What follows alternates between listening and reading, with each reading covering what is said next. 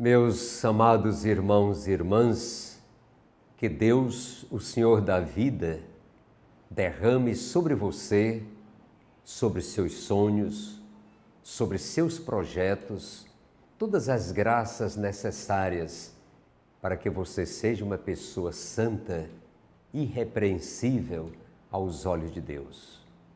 Vamos tomar um versículozinho da primeira carta de São Paulo a Timóteo, que faz parte da liturgia de hoje.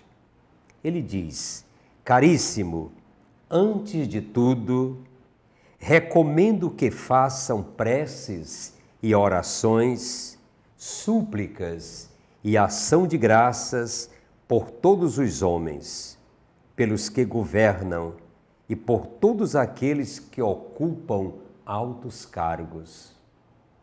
Talvez muitas pessoas possam estranhar, mas nós somos irmãos.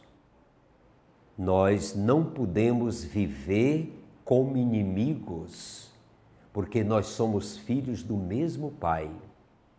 Por isso, nós somos obrigados a rezar por todos os homens e mulheres nós não podemos fazer distinção de pessoas. Nós somos intercessores uns pelos outros. Eu preciso rezar por vocês, como vocês precisam rezar por mim.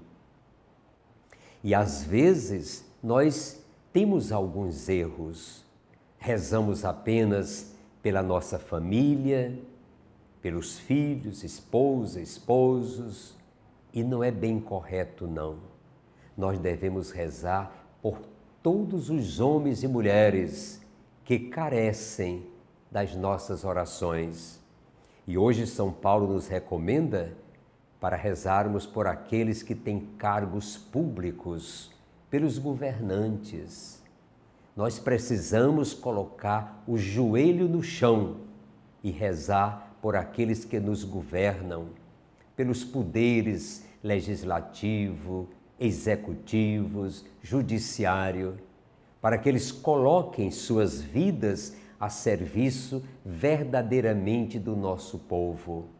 Rezemos por todos, pela conversão do Brasil, para que possamos ser esta terra de Santa Cruz, casa habitável, por todos os seus moradores. Rezem também por mim. E muito obrigado.